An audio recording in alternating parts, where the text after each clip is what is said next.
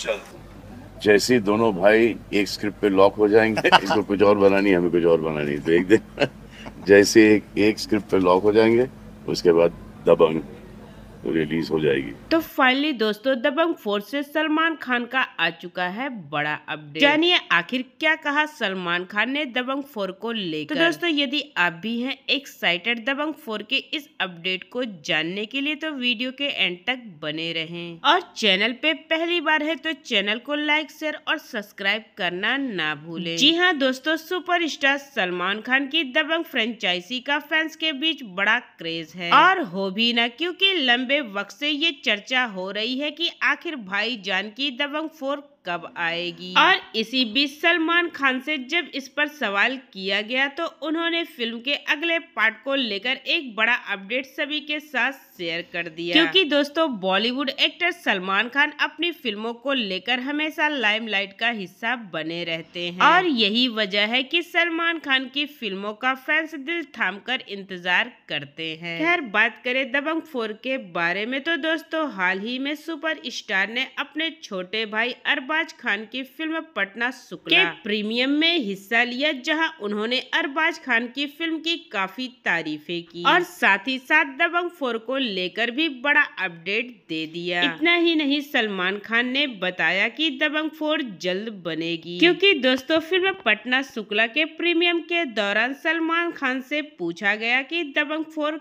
कब आ रही है? तो सवाल का जवाब देते हुए भाई जान ने कहा बहुत जल्द जैसे ही वो दोनों भाई एक स्क्रिप्ट लॉक कर लेंगे। तब ये मुमकिन हो पाएगा। फ़िलहाल अरबाज खान कुछ और बनाना चाहते हैं और मैं कुछ और बनाना चाहता हूँ। लेकिन जैसे ही कहानी फाइनल होगी हम दोनों एक साथ आ जाएँगे। तब दबंग फोर रिलीज़ हो जाएगी। और इसी के साथ सलमान ने रवीना की जमकर तारीफ़ भी की। क्योंकि दोस्तों अरबाज खान की फ़िल्म पटना शुक्ला में रवीना तनवी शुक्ला की भूमिका में है। और इसी के साथ सलमान खान ने ये भी बताया कि मैंने रवीना के साथ पत्थर के फूल और अंदाज अपना अपना समेत तीन चार फ़िल्मों में काम किया है। मैं उसे हमारे छोटे दिनों से जानता हूँ। और रवीना ने अपनी पहली फ़िल्म मेरे ही साथ की थी। और अब इतने सालों बाद अरबाज उनके साथ काम कर रहे हैं। वो बहुत अच्छी अदाकारा है और मेरी दोस्त भी हैं। दोस्तों सलमान ने रवीना के साथ साथ उनकी बेटी राशा के करियर के लिए भी उन्हें गुड लक विश किया है। बता दे दोस्तों अरबाज खान की फ़िल्म में रवीना टंडन तनवी शुक्ला का किरदार निभाएँगी जो पेशे से एक वकील है।